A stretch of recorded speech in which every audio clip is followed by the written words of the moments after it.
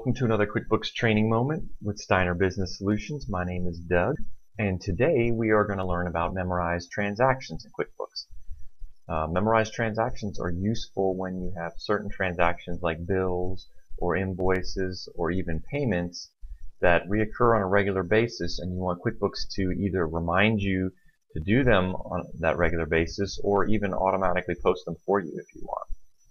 So what we're going to do today is we're going to create an invoice that would reoccur on a regular basis. We'll choose a customer here um, and we'll choose a service that would occur on a regular basis. So we'll say pest control. They're going to charge their customer Natalie Chapman $100 a month. So the, the idea is here is that this invoice needs to be created every month because this is something we bill client every month, the same amount. Created the invoice, we're done. Now we can hit memorize up here up top. And every transaction that you memorize, you have to give it a name. So it'll kind of default a name there for you, but you can change it to whatever you like. So we'll just say this is the Natalie Chapman invoice. Then your first option here is to add it to your reminders list. Um, so we'll say this one's going to happen monthly on 12-15. So the middle of every month, uh, we're going to get a reminder. When we open QuickBooks for the first time on December 15th, a, reminder is going to pop up and say, hey, do you want to post this invoice? And then it'll pop up again on January 15th. Another option is to say, do not remind me. Um, that way there's no reminder, you're just memorizing this transaction um, and keeping it out there. This is good when you have a complicated transaction, like maybe an invoice with many, many line items and you don't want you know you're going to use it again but it's not on a regular basis so you just want that invoice out there created so that you can pull it up anytime you want to and change the name and the date and then post it again. Another option is the automated uh, transaction entry. Um, this case you choose let's say monthly on the 15th of every month you're not even going to get a reminder from QuickBooks. QuickBooks is just going to go ahead and post a copy of this invoice 15th of every month. You can say how many days or how many times remaining you do this. So you say 12 if you want to do it for the next year.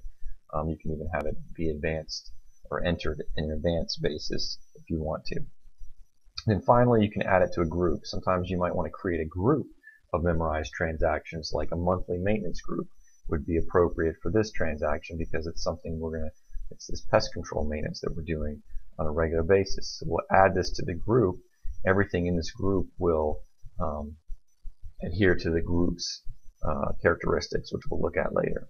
So we're going to add it to the monthly maintenance group. We're going to hit OK, and we hit Save and Close, which will actually save this invoice. Now, if we want to look at our memorized transactions, we go up here to Lists and Memorize Transactions.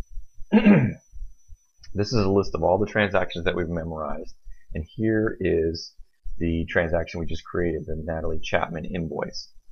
You can see it's under the monthly maintenance group. Now if we right click monthly maintenance group, we can go into edit memorize transactions and you can see the characteristics of that group. So everything in this group is going to get a reminder that pops up monthly on the 31st of the month. Everything that's within that group. All of these transactions up here are individual. They're not part of any kind of group. You see we've got customer invoices, credit card charges, bills, write checks, all these different kinds of transactions can be um, memorized. Over here you can see the frequency of those transactions. So these particular ones are to reoccur never, which means they're just out here, um, which means that anytime you can go to this list, double click it, open it, and actually post that transaction again or change the customer name and repost it if you want. Um, you see this transaction is going to happen weekly um, which means that we're going to get a reminder from QuickBooks every week. Do you want to post this particular credit card charge? Again, you can always open it and change the amount or the date or something if you want to. This this transaction here is a bill from Baywash, uh, Bayshore Water, um, and it's to reoccur monthly, and it has been marked as auto pay, so or automatic posting. So every month we're not even going to get a reminder from QuickBooks about this. It's just going to automatically post. So these are the different types of transactions. This is how you set them up. You can go down here, select a particular transaction. You can edit it. You can delete it. You can create a new group from this menu here as well. Um, but this is how you create and maintain um, memorized transactions. They can be really helpful for things that reoccur on a regular basis. I hope this was helpful for you guys. Take care.